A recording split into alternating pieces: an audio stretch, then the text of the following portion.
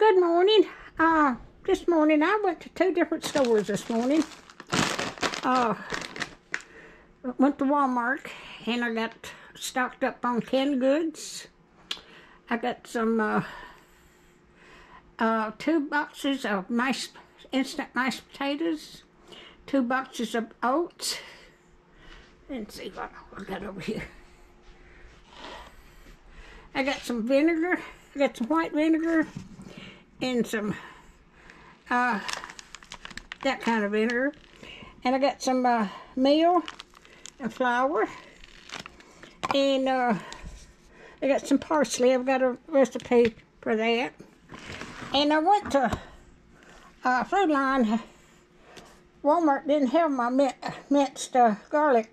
I had to go to Food Lion while I was there. I picked up, they had these for a dollar a piece, and I got five of those. And I got some sugar, got some grapes. Uh, I've got some three boxes of elbow macaroni. Got some coffee. I got some canned fruit. And then I've got some uh, several uh, cans of chili. Uh, I got some onions uh, bacon, and I've got some salsa here. I'm, I got me a pack of those. I've got some lentils, and uh, I've got me lunch meat. Uh, I got me some beef bouillon. Uh, I got uh, chicken salad, and I've got me some uh, cream cheese.